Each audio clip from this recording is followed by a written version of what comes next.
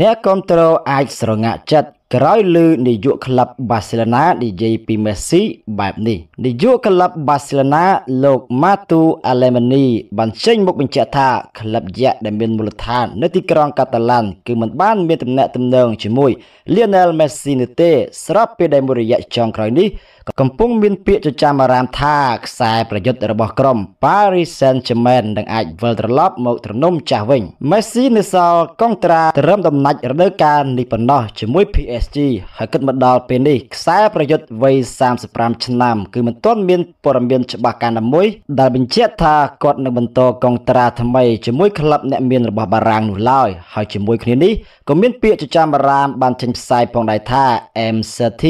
គឺនឹងវិលត្រឡប់មកកាន់ទឹកដី Camp Nou វិញរដូវក្តៅខាងមុខព័ត៌មានផ្សេងផ្សេងបានធ្វើអ្នកគ្រប់គ្រងក៏ដូចជាអ្នកតាមដានវិស័យកីឡាបាល់ទាត់កាន់តែជឿជាក់បន្ទាប់ពីថ្មីថ្មីនេះមេស៊ីបានធ្វើដំណើរមកដល់ទីក្រុងបាសេឡូណាហើយបានជួបញ៉ាំអាហារជាមួយមិត្តចាស់ Sergio Busquets និង Jordi Alba ប៉ុន្តែផ្ទុយមកវិញលោក Alemany បានចេញមុខបដិសេធថាក្លឹបគឺមិនមានទំនាក់ទំនងអ្វីជាមួយនឹងខ្សែប្រយុទ្ធម្ចាស់ពានបឡុនដ័រ7សម័យនោះឡើយតើទៅនឹងរឿងខាងលើលោក Alemany បានថ្លែងប្រាប់កាសែត DAZN យ៉ាងដូចនេះថាពួកយើងមិនមានទំនាក់ទំនងអ្វីជាមួយ Messi នោះទេគាត់ពិតជាចូលចិត្តមកទីក្រុងបាសេឡូណាណាស់គាត់មកទីនេះពី3ថ្ងៃវាជារឿងធម្មតានោះទេប៉ុន្តែពួកយើងមិនបាននិយាយអ្វីជាមួយគាត់ឡើយ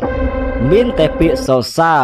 Zira ថាគ្មានកីឡាករណាចង់លេងប៉ះតារា Manchester City ពីរូបនេះទេលោក Alan Shearer បានកោតសរសើរការសហការរវាង Kevin De Bruyne និង Erling Haaland ថាគ្មានកីឡាករណាចង់លេងប៉ះនឹងពួកគេទាំងពីរនោះឡើយកាលពីយប់ឈានចូលថ្ងៃទី27ខែមេសាកន្លងទៅ Manchester City បានបំបាក់ Arsenal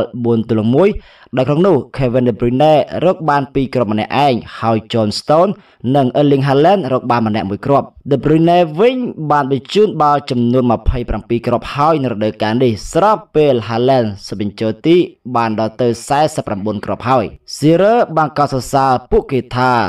ពួកគេ De Bruyne និង Haaland ពិតជាគ្មាននរណាហ៊ានលេងតទល់ទេ គឺពួកគេបានធ្វើបាប Gabriel និង Rob Holding ណាស់ ពេលណាបាល់ឡើងមកពួកគេយល់ថាត្រូវរត់ទៅឯណានិងរត់ទៅយ៉ាងដូចម្ដេចគឺពិតជាតន់ពេលវេលាល្អណាស់បន្ទាប់មកគឺការបញ្ចប់ទីពួកគេនៅមិនឆ្ងាយពីគ្នាទេ អតីតគ្រូ Manchester United លោក Rangnick ប្រាប់ទៅ Nagelsmann ឲ្យមកដឹកនាំក្រុមនៅ Premier League មួយនេះលោក Ralf Rangnick ដែលជាអតីតគ្រូបង្វឹករបស់ Manchester United បានផ្ដល់ដំបូន្មានឲ្យលោក Julian Nagelsmann មកដឹកនាំក្រុម Tottenham Hotspur លោក Nagelsmann ទើបតែត្រូវ Bayern Munich បញ្ចុះតំណែងហើយថ្មីថ្មីនេះអ្នកកាសែត Fabrizio Romano បានចុះផ្សាយថា Chelsea ដែលទើបតែបណ្ដេញលោក Graham Potter ចេញពីតំណែងនោះគឺចង់បានលោក Nagelsmann មកដឹកនាំក្រុមប៉ុន្តែក្រោយពីមានការជប់ចរចាមកគឺលោកបានសម្រេចចិត្តដកខ្លួនមិនដឹកនាំ Chelsea នោះឡើយខណៈនោះដែរ Tottenham Hotspur ក៏បានចែកផ្លូវជាមួយលោក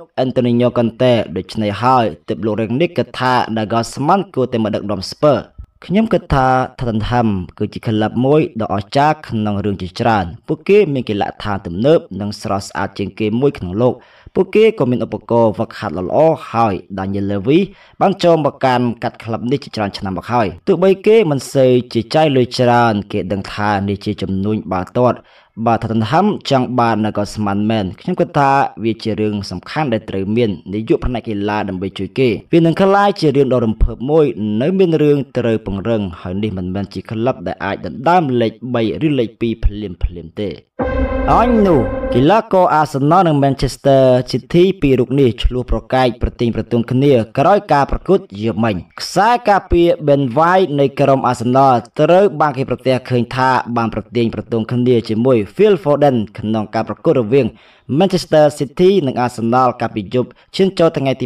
27ខែមេសាកន្លងទៅ ភាគីលោកប៉េប Guardiola បានស្វាគមន៍ Arsenal 4គ្រាប់រកបានដោយ Kevin De Bruyne 2គ្រាប់ John Stone 1គ្រាប់និង Erling Haaland 1គ្រាប់គណៈ Arsenal រកបានតែ1គ្រាប់សវិញ្ជោទីដោយ Rob Holding សរុបមកគឺ Arsenal ចាញ់ Manchester City 4-1ចំណាំមិញគេសង្កេតឃើញថាក្នុងការប្រកួតនេះគឺកីឡាករក្រុមទាំងពីរបានឆ្លោះទាស់សម្ដីគ្នាយ៉ាងក្តៅគគុកនៅតាំងទី2តួយ៉ាងដូចជា Jack Grealish និង Thomas Partey ជាដើមក្រោយចប់ការប្រកួត Ben White ក៏បានចូលទៅរករឿង Phil Foden ជាកីឡាករ Manchester City ដោយ White បានចូលទៅចាប់របួចកអាវ Foden ហើយគេក៏បានទាញអាវរបស់ White វិញនឹងរុញចេញដោយសារការឆ្លោះទាស់ទែងនេះមានភាពក្តៅកកុកពេក Bernardo Silva, Rodri, Kyle Walker និង Erling Haaland ក៏ចូលមកបំបែកពួកគេ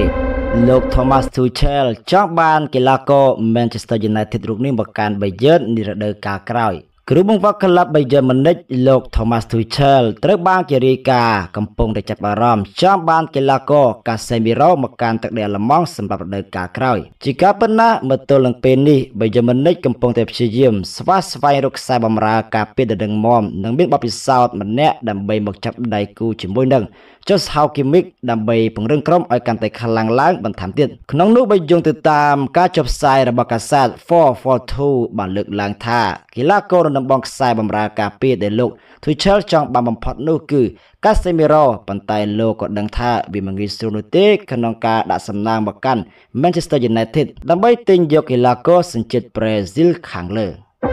គ្រូអាសនលថារឿងដំបូងដែលគាត់ត្រូវធ្វើ គឺលើកទឹកចិត្តកីឡាករក្រោយពីចាញ់ Manchester City លោកមីកែលអាទីតាគ្រូបង្វឹកអាសនលបាននិយាយថារឿងដំបូងដែលលោកត្រូវធ្វើនៅពេលនេះគឺការលើកទឹកចិត្តកីឡាកររបស់ខ្លួនបន្ទាប់ពីពួកគេបានចាញ់ក្រុម Manchester City រួចមកជាការពិតអាសនលទើបតែបានចាញ់ក្រុម Manchester City ដោយលទ្ធផល4ទល់1ក្នុងជំនួបក្របខ័ណ្ឌ Premier League សប្តាហ៍ទី33ដែលធ្វើឡើងនាទីលាន Etihad កាលពីយប់ថ្ងៃទី27ខែមេសាកន្លងទៅការប្រកួតនោះគឺអាសនលត្រូវបាន Manchester City នាំមុខពីក្របមុនក្នុងវគ្គទី1ដោយក្របបាល់របស់ Kevin De Bruyne នៅនាទីទី7និង John Stone នៅនាទីទី45/1 នៅវគ្គទី2 Arsenal បន្តរបបក្របបាល់ទៅឲ្យ Manchester City ទៀតដោយ Kevin De Bruyne សុទ្ធនៅនាទីទី54ប៉ុន្តែនាទីទី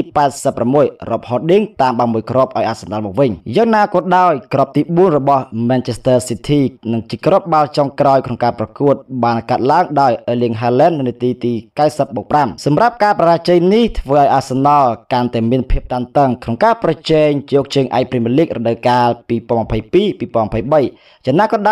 ោយលោកមីកែលអាទីតាអះអាងថាការប្រជែងជើងឯកជារឿងសំខាន់ប៉ុន្តែរឿងដ៏សំខាន់មួយទៀតនោះគឺការលើកទឹកចិត្តកីឡាកររបស់លោកក្រោយការប្រកួតដ៏ខកចិត្តនេះគ្រូបង្វឹក ជនជាតិអេស្ប៉ាញបានថ្លែងបែបនេះថាវាជារឿងដ៏ខកចិត្តតែប្រកបណាស់អ្វីដែលយើងត្រូវធ្វើដំបូងបន្ទាប់ពីនេះគឺការលើកទឹកចិត្តកីឡាករព្រោះពួកគេបានរងភាពឈឺចាប់ណាស់នៅពេលនេះយើងនឹងធ្វើអ្វីគ្រប់យ៉ាងដែលយើងបានធ្វើកន្លងមកឲ្យបានល្អក្នុងការប្រកួតបន្តបន្ទាប់ដើម្បីឈ្នះមកវិញនោះហើយជាអ្វីដែលយើងត្រូវចាប់ផ្ដើមពីឥឡូវនេះ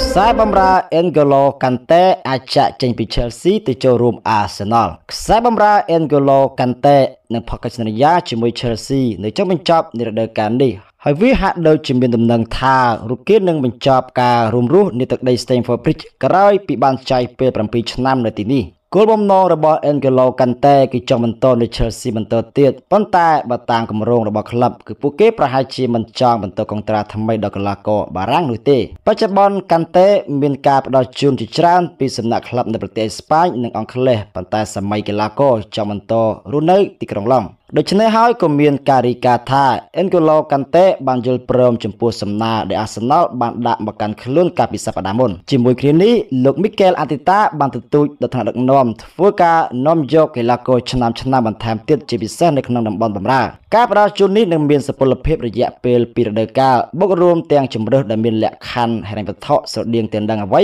ដែល N'Golo Kante ទទួលបាននៅ Chelsea អតីតកីឡាករ Manchester United រូបនេះថាគេសប្បាយចិត្តណាស់ដែលកីឡាកររូបនេះលេងជាប់ជម្រើសដំបូងទៀតអតីតខ្សែការពារក្លឹប Manchester United កីឡាករ Marcos Rojo បានសារភាពថារូគេសប្បាយចិត្តណាស់ដែលឃើញ Harry Maguire បាត់បង់តំណែងជំរឿនដំបូងនៅក្នុងក្លឹបជាការពិតណាស់ Rojo គឺជាអតីតកីឡាកររបស់ Manchester United ចន្លោះពីឆ្នាំ2014ដល់2021គណៈចាប់តាំងពីរដូវកាល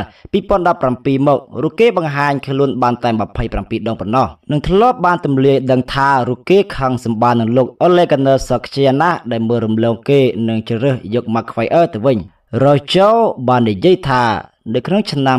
2019ពេលដែលខ្ញុំកំពុងលេងនៅក្នុងពានរង្វាន់ Champions League គឺខ្ញុំពិតជាខឹងនឹងលោកអូឡេមែនទែនដែលដាក់ Maguire ឲ្យលេងជំនួសខ្ញុំខ្ញុំសូមអរគុណព្រះណាស់ទីបំផុតគេបានបាត់ជំរើសដំបងជំនួសវិញដោយ Lisandro Martinez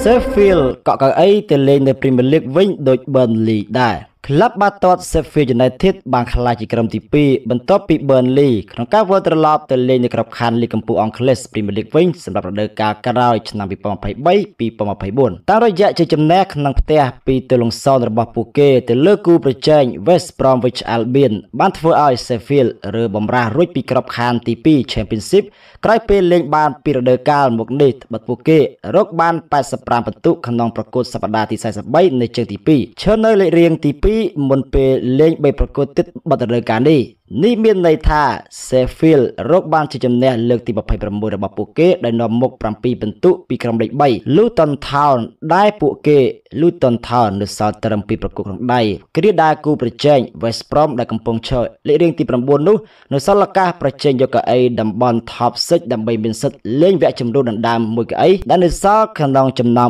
4ក្រុមទៅ Premier League ដែរតែយ៉ាងណានេះក៏ជាលើកទី3ផងដែរសម្រាប់ Sheffield United ដែលបានឆ្លងចូល Premier League តាមរយៈការបញ្ចប់ទៅដោយចំណាត់ថ្នាក់លេខ2ពី Championship នោះអីយ៉ា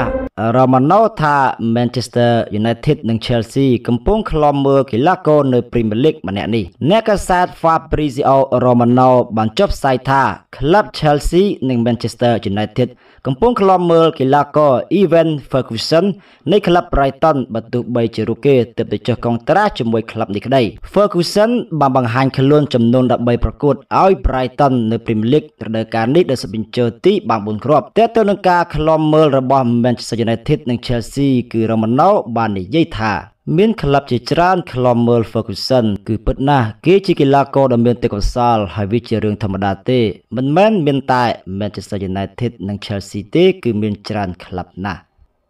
សូមអរគុណសម្រាប់ការទស្សនាសូមជម្រាបលា